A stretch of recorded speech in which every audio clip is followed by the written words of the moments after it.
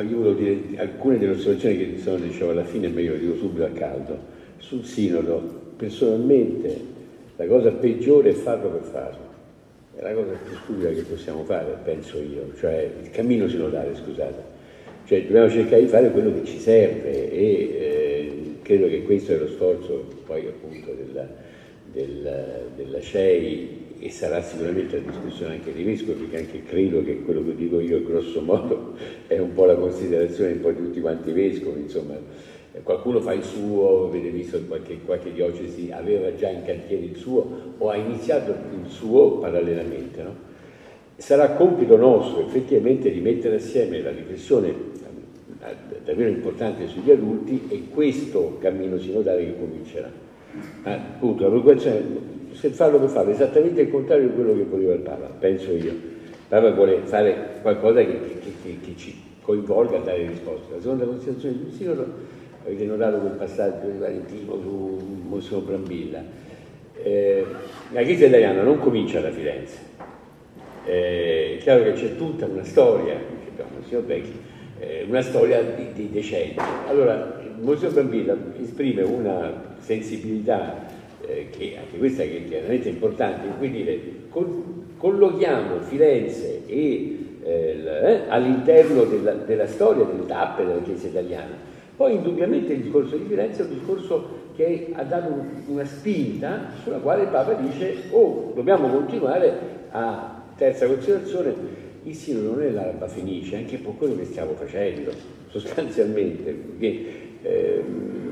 eh, altrimenti sembra, tanto è vero che tanto più perché la scelta della Chiesa italiana è stata quella dei vescovi di non mettere in piedi, con tutto il rispetto per i giuristi, una macchina sinodale, le cose così. Noi dovremmo scegliere l'equipe, adesso vediamo un po' anche se anche questo se possiamo riuscire a farlo anche con un po' di osmosi, cioè trovare anche delle persone che poi effettivamente la portano avanti, eh, che poi colleghi con tutte quante le altre e con, quella, con, quella della Chiesa tutta, no? eh, ma di, non fare il sinodo tedesco,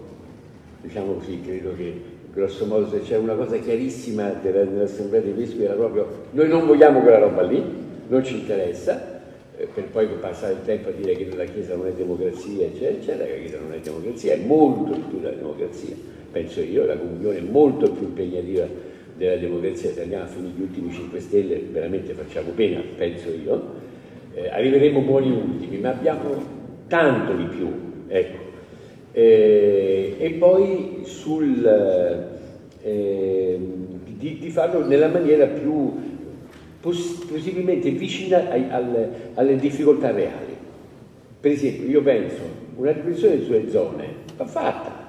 nella Chiesa italiana non abbiamo mai discusso che cos'è la parrocchia che, o le zone che, che, tenendo presente che in alcune sono più di 40 anni che ci sono, anche a livello della, della Chiesa de, de, de, dell'Emilia Romagna. Effettivamente ci siamo detti, ma sentite, è possibile che, infatti l'unica volta che sei venuto tu, è stato ormai un anno fa, in cui tutti abbiamo scoperto quello che facevano gli altri. Sul serio, cioè, che ne so che a, a Piacenza si fa in un modo, eccetera Chiaramente poi non vogliamo uniformare tutto, ma la comunione non è uniformità, perlomeno anche suggerire, capire, eccetera, questo va bene. Eh, questo per il sinodo. Invece non entro nel merito delle, delle varie suggestioni del, eh, gli ambiti sono in effetti, posso, gli ambiti sono, hanno funzionato alcuni, alcuni meno, alcuni per niente, alcuni hanno funzionato come le zone, ma anche così cerchiamo di farle funzionare il più possibile, più sono pastorali e più superiamo il campanilismo e arricchiamo il campanile.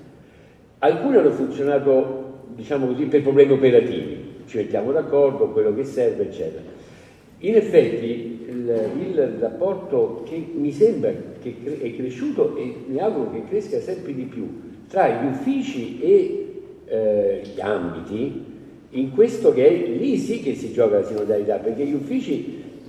lo dicevano tutti quanti prima, danno le suggestioni, in genere anche raccolte ovviamente dal, diciamo, dal, dall'esperienza, e gli ambiti non sono soltanto recettivi, ma che ne so, per esempio faccio un esempio dei funerali, che è un problema per me grosso, anche una volta dobbiamo parlare anche noi, alcuni di noi dicono non faccio più le messe, non c'era proprio la messa. Personalmente penso sia una cosa davvero di cui, di cui discutere, eccetera, su cui coinvolgere anche eh, nell'esperienza, nel racconto, nel confronto e anche nelle scelte. Che ci sia sempre qualcuno che canti nei funerali, penso che sarebbe una cosa bellissima, ne abbiamo parlato penso ormai un paio d'anni, per fare degli esempi. Molte cose sono aperte e quindi gli ambiti avrebbero un, un, un po' di formazione, quello che i, il, gli, ambi, gli uffici hanno, hanno preparato, delle indicazioni e allo stesso tempo, diciamo così, dalla discussione ci si affina, si crea, si aggiunge e via dicendo. Ecco, questo era il discorso appunto che volevo dire sul, sugli ambiti e sugli adulti si tratterà di una volta che abbiamo definito il calendario avete capito, sostanzialmente consiglio permanente alla fine di settembre, CEI eh, a novembre, a quel punto si definisce tutto e si comincia, il dubbio di, eh, di don, don, Giovanni è legittimo, cioè si comincia già praticamente sei arrivato a, alla Quaresima, insomma, insomma la macchina... Però io credo che se noi riusciamo a far coincidere alcune delle delle nostre, della, della preoccupazione sui, sugli adulti con quelle che sono l'ascolto che, che, ci viene proposto, credo che sarà grosso, che potremo fare perlomeno qualche eh, pezzo del cammino lo potremo fare.